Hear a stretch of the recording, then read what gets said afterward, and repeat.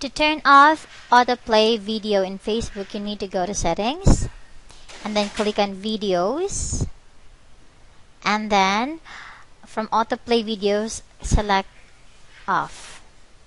That's it.